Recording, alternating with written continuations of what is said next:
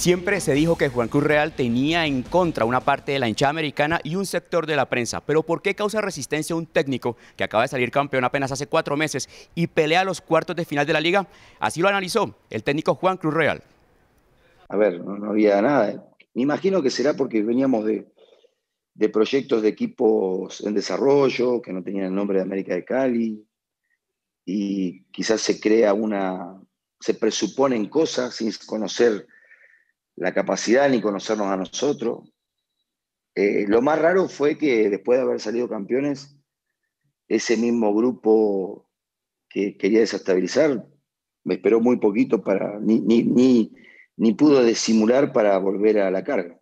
Juan Carlos Osorio aparece como el máximo opcionado a reemplazarlo, y esto dice el técnico argentino sobre el Risaraldense. No, bueno, yo he tenido reuniones con él en el pasado y no, no, no descubriría nada que un entrenador que tiene casi 60 años con recorrido, eh, yo ponerme a hablar de él, me parece que, no tiene lógica. ¿Qué le deja Juan Cruz Real al nuevo técnico? Dejándole eh, una camada de jugadores nuevos a la institución, que no es fácil.